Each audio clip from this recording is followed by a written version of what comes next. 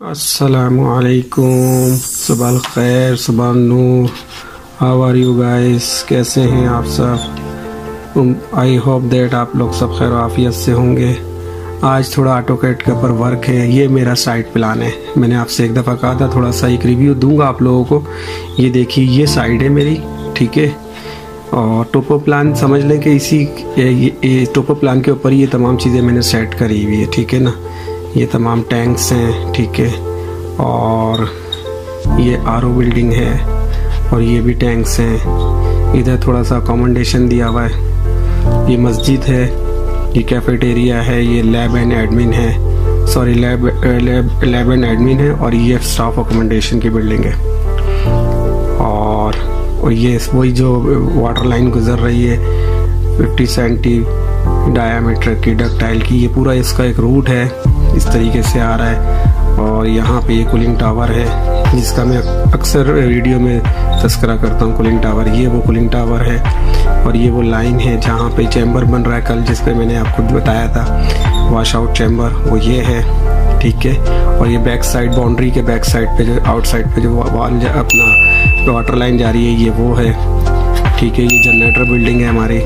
और ये ये हमारा रूट इस तरीके से आ रहा है। यहाँ से ऐसे नीचे और यहाँ आके इधर इनका एग्जिस्टिंग वाटर टैंक है, ये बिल्कुल एक्यूरेट अल्हम्दुलिल्लाह, अल्लाह की इनायत से, अल्लाह की करम नवाजी से, ये सारा का सारा जितना भी आपको ये नज़र आ रहा है प्लान ये सब कोऑर्डिनेट सिस्टम पे मैंने उठाया है। कुछ ऐसी जगहें हैं जहाँ पे रेफरेंस लेके मीटर से लिया है। ठीक है ना, बाकी तमाम का तमाम कोऑर्डिनेट सिस्टम पर है।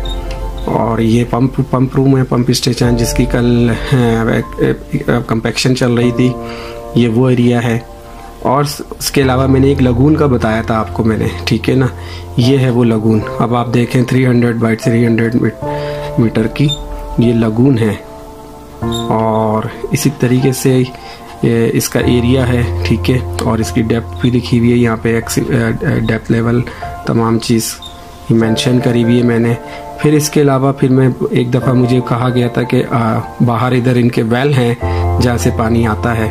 ये वो लाइन फिर मैंने सर्वे किया था, अगर आप गौर से देखें तो ये देखिए, ये मेरे टोटल स्टेशन के उठाए हुए पॉइंट्स हैं। ये इसके ऊपर मैनुअल पे मैंने कंट्रोल बनाया था, ठीक है, और ये एक एक कंट्रोल ये देखिए, ये तमाम टोप ये तमाम कंट्रोल्स बने हुए और ये बहुत बड़ा एरिया है। पीछे कम से कम जो है ये सेवन किलोमीटर से लेकर के ये तकरीबन रेडियस में ले लें आप। इस तरीके से मैं बाहर से टोपो करता हुआ गया था, अगर आपको नज़र आ रहा है। ठीक है ना? ये टोपो करता हुआ मैं बाहर से गया था, तमाम डिटेल्स उठाता हुआ, ये तमाम चीज़ों को इस तरीके से रिकॉर्ड करता हुआ जो है मैं गया था। और अलहमदिल्ला इसी हिसाब से जो है वो टोपोग्राफी करते हुए मैं आगे बढ़ा था। और ये देखिए, इस जगह पे इनके बैक साइड के ऊपर स्कैडा रूम है। ये स्कैडा रूम की डिटेल है। ठीक है ना, ये स्कैडा रूम की बिल्डिंग है। और यहाँ पे मैंने टैंक वैंक जो भी था बिल्डिंग के नाम से सेव कर लिया था। मैन होल के नाम से सेव कर लिया था। ये मेरे टोटल स्टेशन के बेंच मार्क है बी एम ट्वेंटी और इस तरीके से ये, यानी और यहाँ पे ये जो जो नए वेल हुए थे, उसका ये जो इन्होंने बोर वगैरह किया था, उसकी डेप्थ 600 मीटर डाउन गए हुए ये, और ये 2014 का है। तो ये है इसके डिटेल ठीक है ना 10 बाई 10 मीटर की अल्हम्दुलिल्लाह, ये है, मैंने आपसे कहा था कभी ऑटो कैट के ऊपर मैं अगर तफसीलन बैठा तो फिर आपको उसका एक रिव्यू दूँगा। तो अल्हम्दुलिल्लाह, अल्लाह की करम नवाजी से आज वो मुझे मौका मिला तो मैंने कहा थोड़ा आपसे शेयर किया जाए। और भी बहुत सी डिटेल्स हैं इसके अंदर, लेकिन वो थोड़ा वीडियोस जो है, फिर वो लंबी लंबी हो जाती है। तो मैंने कहा शॉर्टली आपको बता दूँ कि ये मेरी साइड है और ये मेरे हाथ की तमाम अल्हम्दुलिल्लाह टोपोग्राफी हुई भी है। और कोशिश करिए बेहतर से बेहतर बनाने की। तो अगर आपको मेरा ये टोपो प्लान ओरिएंटेशन तमाम चीज़ें पसंद आई हो लेआउट और काम करने का स्टैंडर्ड अगर आपको थोड़ा भी पसंद आया हो तो मुझे ज़रूर बताइएगा। और वीडियो को लाइक शेयर लाजमी कर लिया करें। बेल आइकॉन को भी प्रेस कर दिया करें, ताकि आप तक जो है, वो नोटिफिकेशन पहुँच जाए इन और ये देखिए बाउंड्री के भी मैंने चार कॉर्नर ले लिए ए बी सी डी के नाम से ना। ये देखिए, इस तरीके से। और कंट्रोल देखें आप मैंने किस तरीके से कंट्रोल किया हुआ है। ये बी एम वन है, फिर बी एम यानी कि ये आप नज़र, ये समझे ये कंट्रोल है। अब मैं जूम इन जूम आउट करता हूँ, आप देखते जाएँ किस तरीके से मैंने नेट बिछाया हुआ इधर। इसका, ये देखिए बी एम सेवन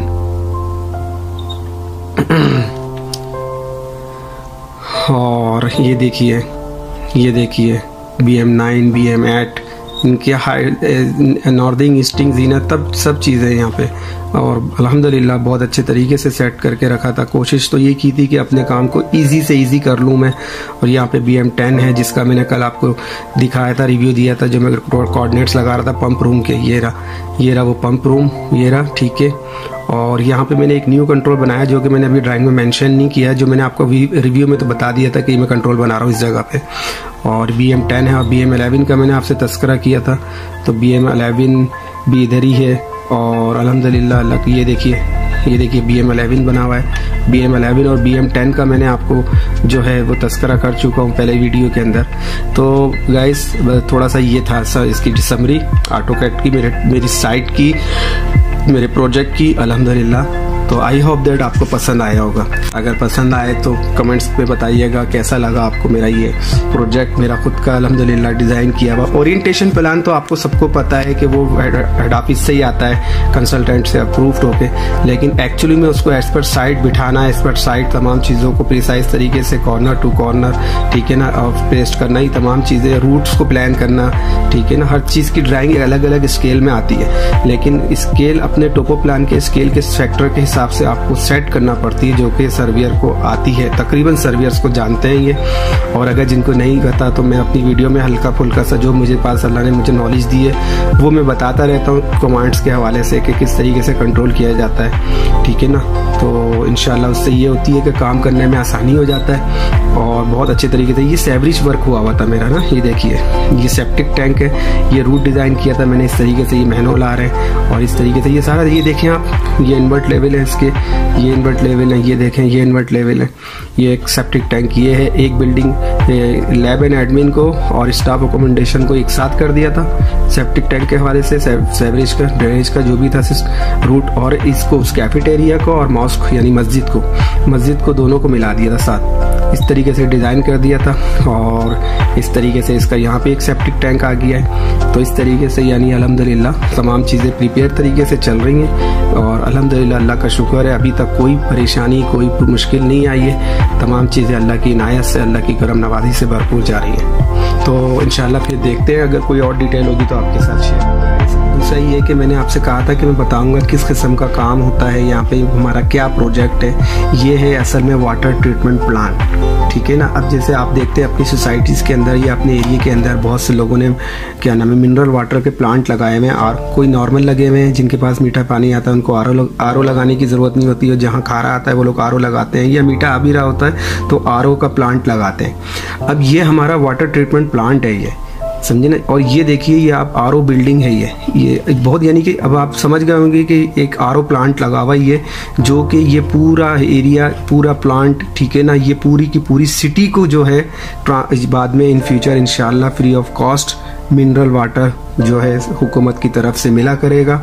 ये लाइन जा रही है, ये देखिए, ये हमारी इंस्टॉल की हुई लाइन है, ठीक है? और ये जो लाइन जा रही है, इसके साथ अगर आपको नज़र आ रही है, ये line existent water line dia 60 centimetre ये इनके प्रीवियस प्रोजेक्ट में जिन्होंने ये डिज़ाइन किया था या जिन्होंने इसको बनाया था प्रोजेक्ट को, ये पहली वाली कंपनी आज से कोई 15-16 साल पहले, उनकी उनकी तरफ़ से ये बनाया गया था। तो ये पूरे सिटी के अंदर तकरीबन कोई दो 200 किलोमीटर किलोमीटर के रेडियस में ये पाइपलाइन पूरा डिज़ाइन वही बहुत बड़ा मेगा प्रोजेक्ट किसी कंपनी को मिला था तो ये पुरानी एग्जिस्टिंग वाटर लाइन है। और हमारी जो नया प्लांट नया प्रोजेक्ट है, जो एक्सटेंशन मिली हमें, वो ये हमने यहाँ तक पहुँचा दी है। अब यहाँ पे देखिए एक वाल्व एयर वाल्व चैम्बर है, ये air valve air valve chamber जो है हमने बना दिया है। अब यहाँ तक पाइप हमारा आ चुका है और सिर्फ़ और सिर्फ़ इसमें एग्जिस्टिंग वाटर लाइन के अंदर कनेक्ट करना है। और यहाँ से फिर ये, इधर भी एक चैम्बर आएगा इन फ्यूचर वो हमने बनाना है। तो बताना ये था, आपको इससे पहले भी मैंने बताया था कि ये मैं बताऊँगा किस चीज़ का प्रोजेक्ट है। तो ये वाटर ट्रीटमेंट प्लांट है। ये जो ये जो आपको नज़र आ रहे हैं, ये ये पहले की है। पहले जो कंपनी करके गई थी, इस तरीके से इनका ये डिटेल है। तो ये भी मैंने कोऑर्डिनेट्स पे कुछ बिल्डिंग्स वगैरह डिटेल्स रूट्स वूट्स ये तमाम चीज़ें रूट्स जहाँ जहाँ से रोड्स गुजर रहे हैं, जिस तरीके से सॉरी डिज़ाइन हुआ हुआ है। कोऑर्डिनेट सिस्टम के ऊपर सारा मैंने कैप्चर किया हुआ है। ये तमाम चीज़ें इनका क्लियरफाइड वाटर टैंक है cold water tank pump station ये तमाम चीज़ें डिटेल्स हैं ठीक है? और इस तरीके से ये वाटर ट्रीटमेंट प्लांट का ये प्रोजेक्ट है ये। यूँ समझ लें कि यहाँ से लेके ये तकरीबन यहाँ से लेके इधर तक रा, मेरे राइट साइड पे जहाँ पे कर्सर घूम रहा है ये हमने डिज़ाइन करा ये हमने बनाया हमारी कंपनी ने माशाल्लाह अल्लाह की नायत से ठीक है? इसमें हमारी जनरल बिल्डिंग का एरिया भी हम मैंने निकाला तो इस जगह पर डिज़ाइन की डिज़ाइन तो वो खुद फाइनल करते हैं, लेकिन ज़ाहिर सी बात है उसी हिसाब से स्केल के हिसाब से सेट करना पड़ता है तमाम चीज़ों को। तो ये अब आप देखें, मैं पहले से ही एडवांस में कोशिश ये करता हूँ, मुझे पता चल जाता है कि इस जगह पर कोई काम इन फ्यूचर आने वाला है। तो मैं फ्री टाइम में जाके उधर उधर उधर के एनएसएल जो है ग्राउंड लेवल वो उठा लेता हूँ, हर पाँच पाँच मीटर के ऊपर। तो उससे ये होता है कि मेरे पास एक एडवांस में सेफ़ साइट जो है वर्क रहता है, ठीक है ना? वर्क रहता है और उसी हिसाब से जो है, कभी इन फ्यूचर में कोई काम बताते हैं तो वो हम मुझे करने में आसानी हो जाती है। अब वो डिपेंड करता है, पाँच मीटर पे उठाएँ या दस मीटर पे। अगर लैंड अगर प्लेन है, ज़्यादा अप डाउन नहीं है तो मैं फिर दस दस मीटर पे उठा लेता हूँ। ये देखें दस दस मीटर पे एन एस उठे हुए तो यानी कि ये एक प्लान फ्यूचर प्लान एडवांस में करके रखना पड़ता है। अब जैसे ये एरिया अगर कभी मुझसे पूछे कि ये एरिया में क्या है, ये क्या डायमेंशन है, इसकी लेंथ विथ क्या है तो मैंने लिखा हुआ है फिफ्टी एट मीटर समथिंग और फिफ्टी सिक्स मीटर समथिंग ये एरिया ग्राउंड जो नज़र आ रहा है, इसमें ये में अब इसमें से एक है, ये देखें हाई वोल्टेज केबल गुजर रही है यहाँ से। ये देखें, वो मैंने एक वीडियो में इसका रिव्यू भी दिया था। डिगिंग जब हो रही थी इस लाइन की, हमारे पंप पंप स्टेशन से जब आगे बढ़े थे। तो जब इसका मैंने रिव्यू दिया था तो उस टाइम मैंने बताया था, केबल आ गई, केबल आ गई हाई टेंशन हाई वोल्टेज पे केबल। तो वो ये देखें, ये डिज़ाइन हुआ हुआ है। ये तमाम चीज़ें एज बिल्ड कोऑर्डिनेशन करना पड़ता है। प्रीवियस टीम से प्रीवियस प्रोजेक्ट पर जो मेंटेनेंस के बंदे होते हैं, उनसे डिटेल लेनी पड़ती है। इस तरीके से कंट्रोल करके फिर वर्क को आगे बढ़ाया जाता है। तो ये है हमारा वाटर ट्रीटमेंट प्लान तो इनशाला आई ऑफ़ डेट अब आप लोग समझ गए होंगे कि मेरा प्रोजेक्ट किस किस्म का है। आप ये देखें वो गवर्नमेंट सऊदी गवर्नमेंट कितना मैंने आपको इससे पहले भी बताया था कि वो अपनी पब्लिक को बहुत सपोर्ट करती है, हर लिहाज से रिलीफ देती है। आप यूँ समझें कि ये जो वाटर ट्रीटमेंट प्लांट ये तैयार हो जाएगा। आज से दो साल बाद पूरी सिटी के अंदर फ्री ऑफ़ कॉस्ट मीठा पानी पहुँचेगा मिनरल वाटर चाहे वो पिए, चाहे वो नहाए, कुछ भी करें, लेकिन आप ये देखें कितना फैसिलिटेट करती है। ये बहुत अच्छी बात है और बहुत खुशी की बात है। सही है ना? और अच्छा भी लगता है कि गवर्नमेंट अपनी पब्लिक को जो है वो इस तरीके से, हर तरीके से रिलीफ दे सपोर्ट करे, माशाल्लाह, और अपनी पब्लिक का ख्याल रखे। तो आ, ये है सारी डिटेल इसकी मेरे प्रोजेक्ट की। तो इन अब कोई अगर अगली डिटेल होती है तो फिर आपसे शेयर करेंगे वरना जब तक अपना बहुत सारा ख्याल रखिएगा क्योंकि आज मेरा थोड़ा काम है ऑफ़िस के अंदर ही। अब अगर फ्री हुआ थोड़ा टाइम मिला तो फिर साइट पे जाऊँगा। अगर उधर की कोई डिटेल होगी तो वो शेयर करूँगा। वरना फिर अगले किसी नई व्लॉग के साथ नई डिटेल के साथ आपके सामने हाजिर होंगे इन जब तक के लिए अपना बहुत सारा सारा ख्याल रखिएगा। अल्लाह हाफिज़ टेक केयर